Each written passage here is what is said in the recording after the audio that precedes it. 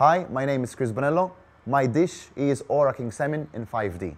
I love Ora King salmon and it's a shame to waste any of the cut really. So on this dish I use from literally from the head till the tail. I use every single piece of the salmon itself. We use the head, took the cheeks out, we kept that for the salmon sandwich component with the skin fried it so it fluffs up and comes nice and crispy. With the belly, we cure that just with simple salt and sugar and slice it really thin so it looks like this transparent salmon bacon. The inspiration of the art comes from one of my favorite artists, Tom Semick. The name of the artwork, it's called Must Take Stock of Myself. Same as you see as the artwork, none of the vegetables can escape out of the bath. So that's relationship with the salmon. I used every single component of it and nothing went to waste.